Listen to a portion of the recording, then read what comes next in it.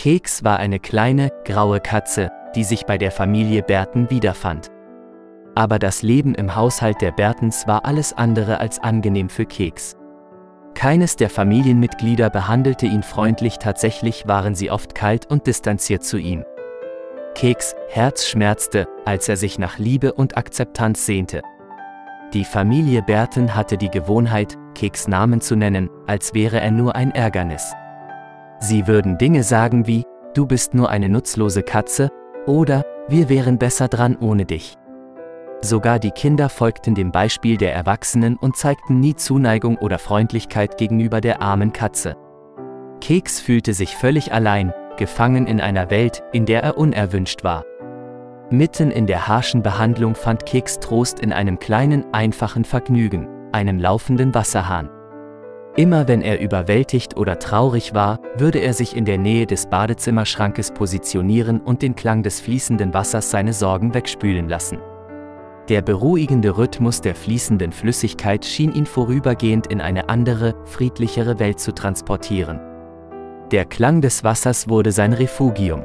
Eines Tages, als Keks seinen ruhigen Moment am Wasserhahn genoss, bekam die Familie einen Blick auf sein eigenartiges Verhalten. Sie beobachteten ihn mit Verwirrung und konnten nicht verstehen, warum er so viel Trost im fließenden Wasser fand.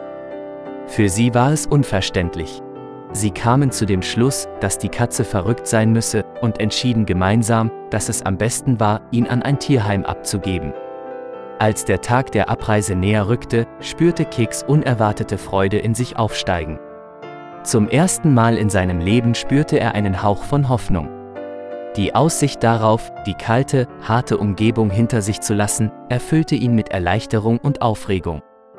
Keks wartete gespannt auf seine Chance, von einer Familie zu entkommen, die ihm nie Freundlichkeit gezeigt hatte.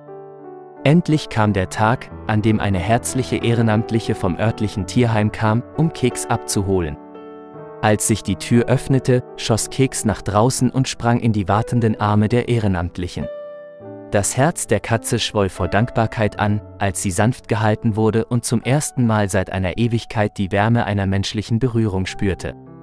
Im Tierheim begann sich Kicks Welt zu verändern. Das Personal behandelte ihn mit Liebe, Fürsorge und Verständnis. Sie erkannten seine Vorliebe für fließendes Wasser und sorgten dafür, dass er immer Zugang zu einer Quelle des Trostes hatte. Keks Tage der Einsamkeit und Vernachlässigung wurden durch Gesellschaft und Mitgefühl ersetzt. Er musste nicht mehr auf den Wasserhahn zurückgreifen, um seinen Sorgen zu entkommen, er fand Trost in der Liebe und Fürsorge, die ihn umgaben. Liebe Freunde, wenn euch das Video gefallen hat, setzt ein Like und abonniert den Kanal.